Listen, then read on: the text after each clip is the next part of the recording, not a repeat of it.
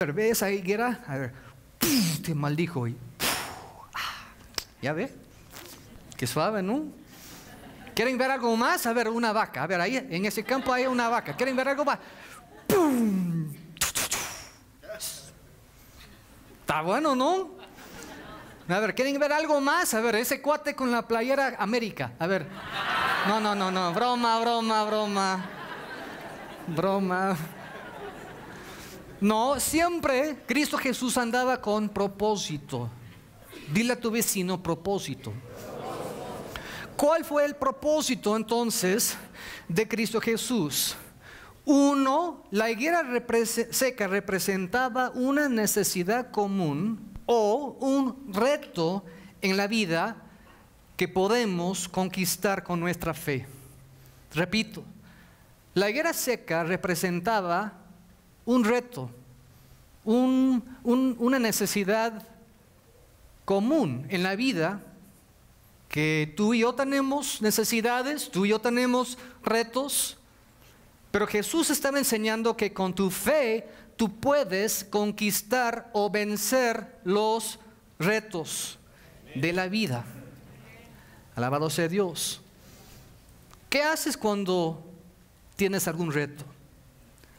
¿Permitimos que los retos nos dominen o nosotros los dominamos a ellos?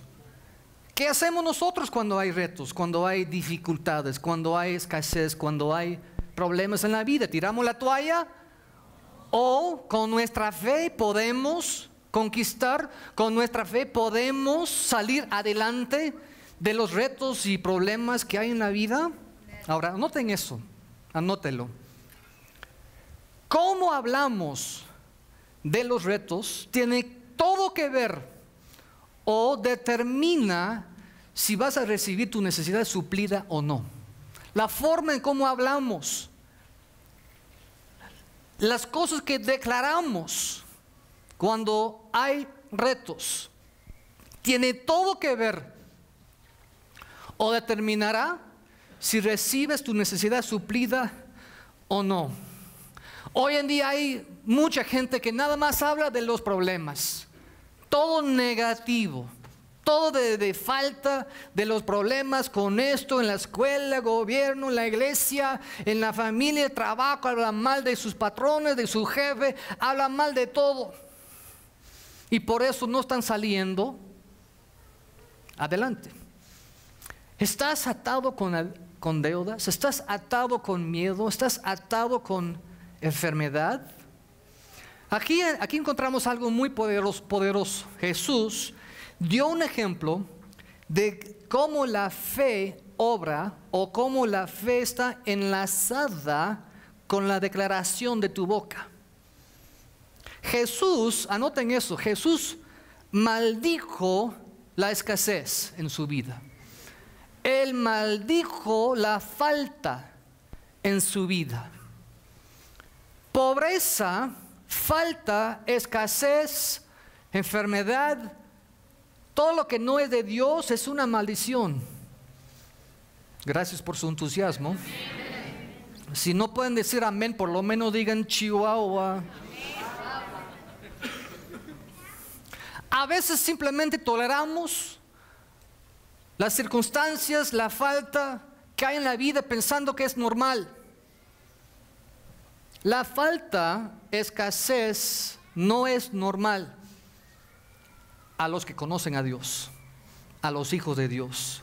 Nunca encontramos escasez, ni falta, ni enfermedad, ni pobreza, ni miedo en el plan original de Dios. El plan original de Dios fue un plan, una vida de plenitud, de gozo, de abundancia, de salud. Así fue su plan en el original. Pero hoy en día a veces estamos simplemente tolerando las cosas, aguantando las cosas, pensando pues que es de Dios y que, que al amor Él tiene algo que ver en eso y que este, no sé, lo tengo que aceptar como si su, su, su voluntad y de plano que nunca salimos adelante. Alabado sea Dios, hay buenas noticias que la palabra nos da y Cristo nos dio un excelente ejemplo que con tu fe tú puedes salir adelante. ¿Cuántos quieren salir adelante? ¿Cuántos quieren salir de un nivel a otro nivel? De gloria a gloria.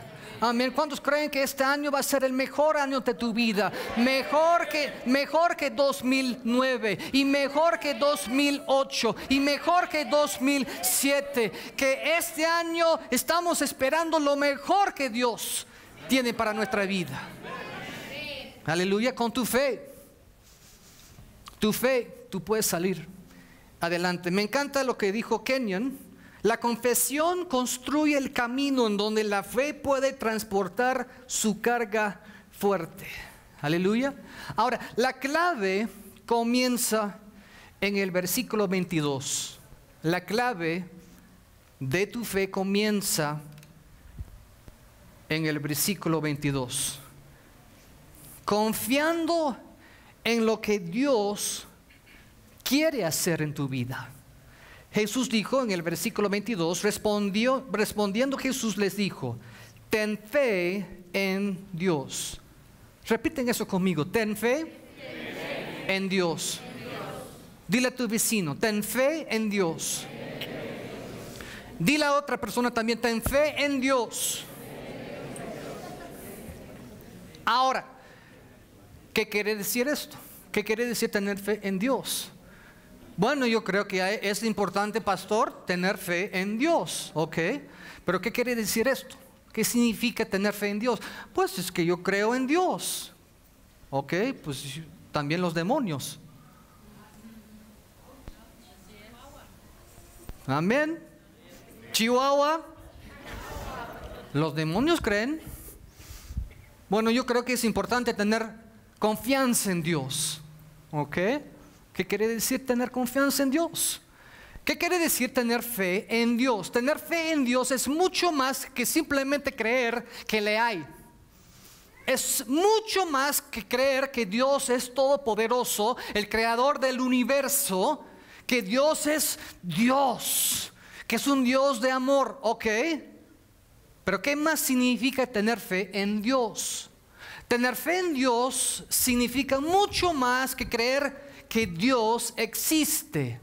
Es también creer y confiar en su carácter, su naturaleza, su palabra, su integridad. Lo que tú traes en tu mano es su voluntad. La verdad es que Dios no tiene dos voluntades. No hay una voluntad en el cielo y hay otra voluntad aquí en el mundo. No, hay una sola voluntad. Y lo que tú tienes en tu mano es su plena voluntad. Jesús mismo dijo que el cielo y la tierra pasarán, pero mis palabras nunca, nunca, nunca pasarán. Tú puedes confiar totalmente en eso y lo que tú tienes en la mano. Ahora, el reverendo Hagen dijo lo siguiente, que la fe comienza cuando la voluntad de Dios es conocida. Repito, la fe comienza, ¿cuándo empieza la fe? Cuando la voluntad de Dios es conocida. La verdad es que tú tienes en tu mano su voluntad, pero si no tomas tiempo descubriendo, leyendo, viendo ahí lo que es su voluntad para tu vida, nunca vas a aprovechar de sus bendiciones. Están demasiado callados en este, este auditorio. Ahora, en el Antiguo Testamento, ahí tenemos varios nombres de Dios. Y los nombres hablan de su carácter, hablan de quién